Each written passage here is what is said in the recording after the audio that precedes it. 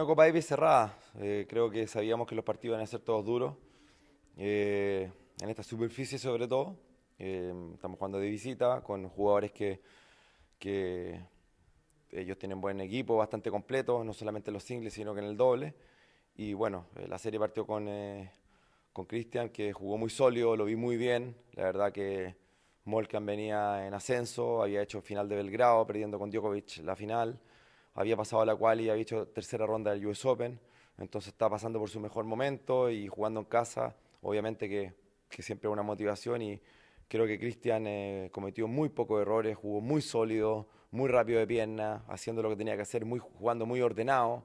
Eh, creo que la táctica fue perfecta y, y, la verdad que fue un gusto verlo jugar así y obviamente que con ese nivel por algo está número 17 del mundo, así que eh, con buena actitud, haciendo lo que tenía que hacer, concentrado en cada punto y pudo marcar sobre todo diferencias en los momentos importantes, en los breakpoints, eh, cuando tuvo que meter el primer servicio y bueno, eh, esta cancha no es fácil jugar, pero, pero él tiene el tenis para jugar en todas las superficies, digamos, eh, le ha ido bien en, en, distintas circunstancias y eso también es bueno para, para, un capitán como yo que puedo confiar en, el que puede rendir, así que bien, es uno de los mejores partidos que le he visto jugando Copa Davis y, eso también. Sí, la verdad que bien, bien, sólido, eh, siempre abrir la serie no es fácil, sobre todo cuando eres favorito y creo que marcó la diferencia, te vuelvo a repetir, con un jugador que venía ganando partidos.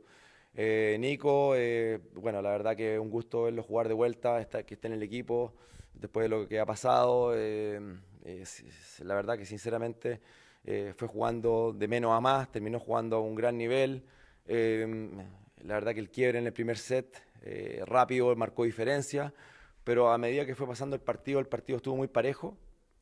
Eh, la pelota venía muy rápida, yo que estoy sentado ahí veía que venía a una velocidad muy fuerte porque tiene un estilo de, tenis bastante parecido, bastante rasante. Eh, trató de hacer los cambios, creo que...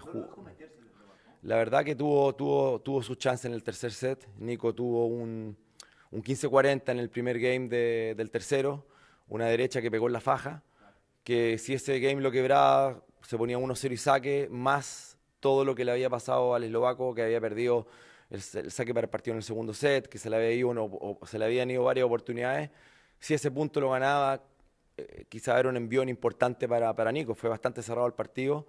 Eh, terminó jugando mucho mejor de lo que empezó. Eh, sólido en algún momento del partido, sobre todo a finales del segundo set y en el tercero. Y como digo, perdió por detalles. Lo que pasa es que esos detalles te marcan la diferencia entre ganar y perder.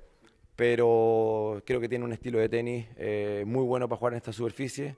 Eh, cuando él eh, saca de la manera que saca, marca diferencia. Cuando tira para adelante también. Así que bueno, creo que un día para, para verlo de Obviamente que me hubiera gustado quedar 2-0, como el capitán eslovaco, también le hubiera, gustado quedar 2-0, pero, pero creo que este, eh, va a ser una serie cerrada. Ahora, ahora vamos a ir al vestuario a conversarlo en el equipo, eh, lo que dije incluso en la conferencia de prensa, o sea, acá hay que ser súper inteligente porque la Copa de Villano es como antes, que son tres días, cinco sets, hoy día se juega un doble antes que los singles. Eh, tengo que conversarlo con ellos y, y tienen que estar preparados para jugar tanto los dobles como los singles.